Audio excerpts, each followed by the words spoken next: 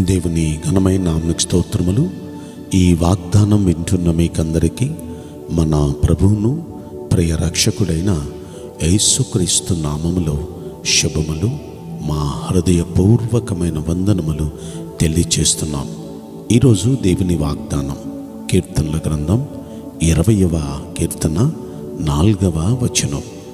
నీ కోరికను సిద్ధింపచేసి నీ ఆలోచన యావత్తును సఫలపరచునుగాక. మెయిన్ ఈ మంచి వాగ్దానం వింటున్న మనందరి వెనుకడిలో మన మంచి దేవుడు నెరవేర్చునుగాక. మెయిన్ ప్రియ దైవ జనాంగమా ప్రతి మనిషికి ఏదో ఒక కోరిక ఉంటుంది.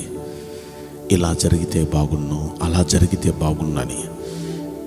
కోరికలు లేని మనిషి అంటూ ఎవరుండరు. నాకు ఏ కోరిక లేదు అనుకుంటూ కూడా వారిలో కొన్ని కోరికలు ఉన్నాయి మన కోరికలు నెరవేరిస్తే ఎంత బాగుండు మన కోరికలన్నీ నెరవేరితే మనంత ఆనందంగా మరి ఎవరు ఉండరు కదా? అయితే ఇక్కడ దేవుడు మనతో అంటున్నారు ఈ రోజున మీ కోరికను ఆయన నెరవేర్చబోతున్నారు సిద్ధింపచేయబోతున్నాడు ఆయన. అంత మాత్రమే కాదు మీరు ఆలోచించిన ఆలోచన యావత్తూ సఫలం చేయబోతున్నారు ఆయన. మీరు ఏది కలగాలని జరుగుతున్నారో ఆలోచిస్తున్నారో ఏ విధంగా ఉండాలని మీరు ఆలోచిస్తున్నారో మీ ఆలోచనలు యావత్తూ ఆయన సఫలపరచబోతున్నారు.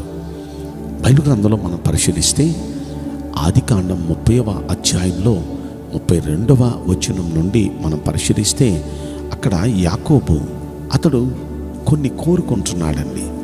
అతడు ఏం కోరుకుంటే అదే జరిగింది.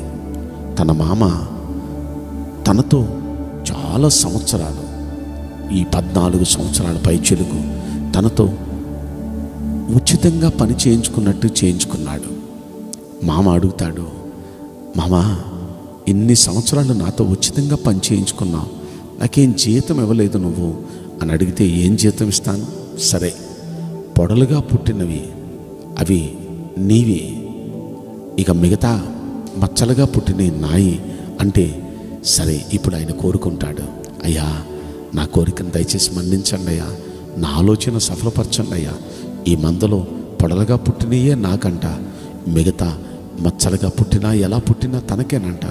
దయచేసి ప్రభు నా పక్షాన న్యాయం జరిగించు అని ప్రార్థన చేస్తే న్యాయాధిపతి ఆ అవి ఈనే టయానికి వచ్చేటప్పటికి పొడలుగానే ఎక్కువ పుట్టినాయి.